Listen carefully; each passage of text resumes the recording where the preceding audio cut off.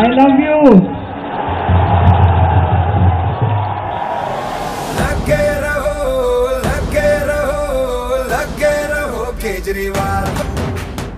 খাৰঘুলিৰ পৰা আমবাৰীলৈ কেৱল আম আদমী।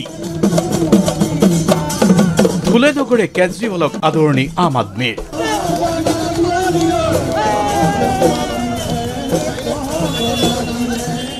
দিল্লীবাসীক অসমৰ পৰাই ধন্যবাদ আপ অসমৰ। কেজৰিৱাল। মই সমূহ দিল্লীবাসী ৰাইজক ভ্ৰষ্টাচাৰী বিজেপি কেন্দ্ৰৰ ওফৰাই যি গণতন্ত্ৰক পুনৰ প্ৰতিষ্ঠা কৰিলে তাৰ বাবে মই দিল্লীবাসী ৰাইজক ধন্যবাদ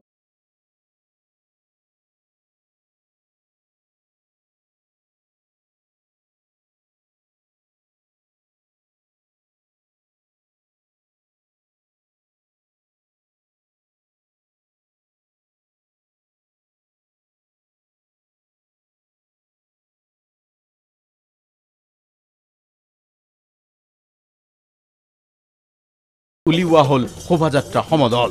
একেমুখেই কেজৰিৱালৰ জয়ধ্বনি। নৃত্য গীত আনন্দ উৎসৱৰ মাজেৰে দিল্লীত কেজৰিৱালৰ বিজয় উৎসৱ অসমতো পালন কৰাৰ পিছত সংবাদমেলকো সম্বোধন। আগন্তুক সকলো নিৰ্বাচনত আপে আগবঢ়াব প্ৰতিদ্বন্দ্বিতা। যিহেতু এইটো এটা ৰাইজৰ দল যদি ৰাইজে বিচাৰে তেনেহ'লে আমি আগন্তুক অসমত আহিবলগীয়া সকলো ধৰণৰ নিৰ্বাচনতে আমি অংশগ্ৰহণ কৰিম। লগতে দুহেজাৰ একৈছ চনত আহিবলগীয়া অসম বিধানসভা যি নিৰ্বাচন হ'ব তাতো আমি অংশগ্ৰহণ কৰিম। অসমৰ জনতা জনাৰ্দনক আহ্বান জনাইছোঁ যে যেনেকৈ দিল্লীৰ নিবাসীয়ে এক গণতন্ত্ৰ জয় কৰিলে ঠিক তেনেদৰে আমি আকৌ অসমত সকলোৱে লগ হৈ একত্ৰিত হৈ এখন সোণৰ অসম শিক্ষিত অসম আৰু প্ৰগতিশীল প্ৰগতিশীল অসম গঢ়াৰ নিমিত্তে আম আদমী পাৰ্টী অসম কৰোঁ।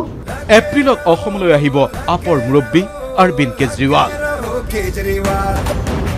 আমি জনাইছো তেখেতক যে বহাগ মাহৰ ভিতৰতে যদি আপুনি আহে তো বহাগ মাহত তেওঁ এবাৰ অহাৰ পৰিকল্পনা কৰিছে আগন্তুক দিনলৈ। মূলত দিল্লীত আম আদমি পাৰ্টীৰ সফলতাই এতিয়া উৎসাহী কৰি তুলিছে অসমৰ আম আদমি পাৰ্টীৰ কৰ্মকৰ্তা। দুহেজাৰ একৈছত অনুষ্ঠিত হ'বলগীয়া বিধানসভা নিৰ্বাচনক লৈও সাজু হোৱাৰ ইংগিত দিলে আপৰ অসমৰ নেতৃত্বই।